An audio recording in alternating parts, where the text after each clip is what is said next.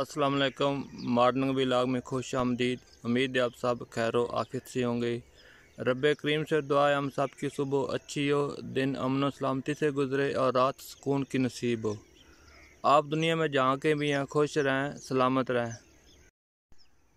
آج کے morning vlog میں آپ خوبصورت مناظر تو دیکھیں گے، ساتھ ساتھ کچھ کرکٹ کی بات کر لیتے ہیں۔ پاکستان کرکٹ ٹیم کا نیا سیزن کل اٹھارہ اپریل سے شروع ہو رہا ہے، پاکستان اپنا پہلا T twenty match New Zealand خلاف پنڈی اسٹیڈیم کرکٹ میں کھیلے گا۔ نیوزی لینڈ نے پاکستان ٹور کے لیے تقریباً نئے کھلاڑی بھیجے ہیں۔ ان کے کپتان مائیکل بریس ویل ہیں، فن ایلن یہ بھی نئے کھلاڑی ہیں۔ جوش کلارکسن یہ بھی نئے ہیں، جیکب ڈفی ڈے یہ بھی نئے ہیں۔ اس طرح باقی تقریباً زیادہ تر کھلاڑی ان کے نئے ہیں۔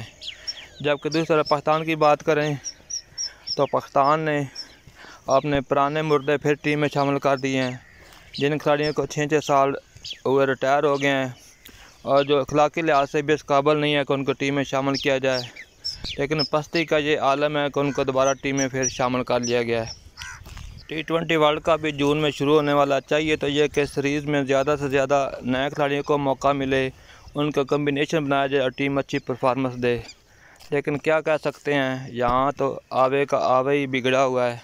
اب دیکھتے ہیں پاکستانی ٹیم ان پانچ ٹی ٹوینٹی میچز میں کیا پرفارمنس دیتی ہے۔ اسی سال جنوری میں ہونے والی سیریز میں نیوزی لینڈ نے پاکستان کو چار ایک سے ہرایا تھا۔